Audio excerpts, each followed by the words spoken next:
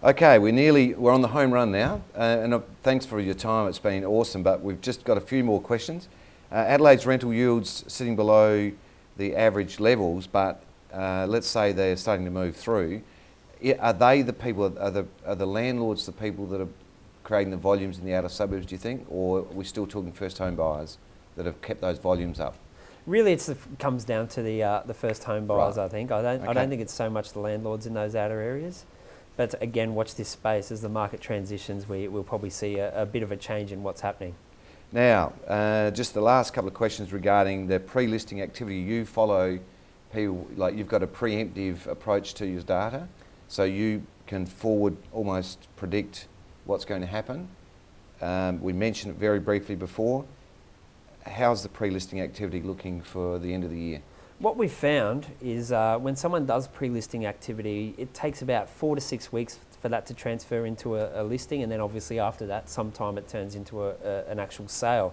What we've found is that uh, nationally, the pre-listing activity's been fairly flat leading into to spring. If anything, it's been falling leading into spring. So that leads us to believe that spring nationally is probably going to be a quieter time for the property market. However, that's not the case in Adelaide. What we found in Adelaide is that it has been steadily increasing the level of pre-listing activity until about mid-August. We've seen a bit of a downturn mid-August, and we're putting that down once again to the to the, the election. election.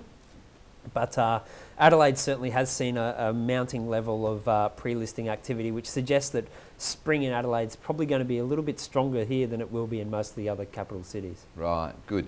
Now, that's been fantastic. Just uh, let's sort of wrap it all up in a bit of a summary. I'll just throw a couple of questions at you. Market conditions, generally, just overview. Fairly, fairly flat for the remainder of this year. Um, you're not going to see too much growth in values, but we're certainly not going to see those huge falls in values that some people suggest are imminent for the Australian market.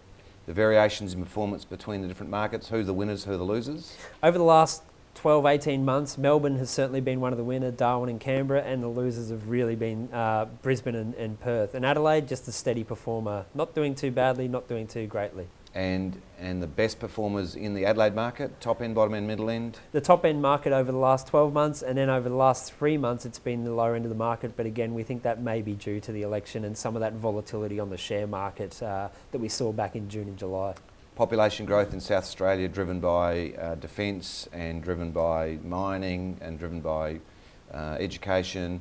Um, big impact, small impact?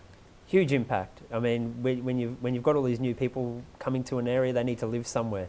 And what we're finding right across the nation is that uh, developers are finding it very hard to get finance to build new new products. So over time, that's going to create a floor under any price falls that people suggest might happen, and we saw that happen back in 2008. And it's going to create more upwards pressure on prices because there's going to be greater competition for that available stock. So no 40% uh, burst in the bubble that has been predicted by some in the states. Certainly for, not. For Adelaide, certainly not in our view. No, certainly, okay. certainly not in our view anywhere in Australia, let alone Adelaide. Great. Um, and overall, market conditions buoyant last 15 months. Any predictions moving forward past uh, Christmas? Past Christmas, uh, probably starting to depend what happens with interest rates. We're thinking it's going to be fairly fairly level playing field to Christmas and probably the first half of next year as well. And then uh, who really knows? It's probably very dependent on what happens externally, uh, how, our, how our mining sector continues to go, and uh, if other economies can pull themselves out, such as America and, and Europe, out of the, uh, the mess they're in at the moment. So we're thinking for the next six to nine months, probably fairly flat conditions. Uh, maybe Adelaide and, and some of those markets that have been lagging, though, uh, to outperform markets like Melbourne, Canberra, and Darwin. And finally, any impact from the hung parliament now? Gillard's looks like she's now got up, um, and interest rates. The hung parliament, I think people stress a little bit too much about elections. Um, really, the budget's probably the thing that's going to impact on the property market more so than, than any election. So I think it's just a, a, bit of a mindset that people have, but I don't think it really impacts the, the market too much. We may see some confidence come back into the market now that uh, we've seen the election result seemingly resolved. And interest rates obviously always have an impact on, uh, on home buyers. We've seen that they've stayed put for four months now. Uh, the futures market isn't factoring in any increase in, uh, in interest rates for the remainder of the year, but we'll probably have to wait and see what happens with inflation next time they, those figures come out. And if they're outside of the, uh, the Reserve Bank of Australia's target range, we may have to see a, a 25 basis point increase. Cameron Kusher, RP Data, that has been absolutely awesome, and I hope the viewers uh, got a lot out of that. Thank you very much for joining us. Thank you.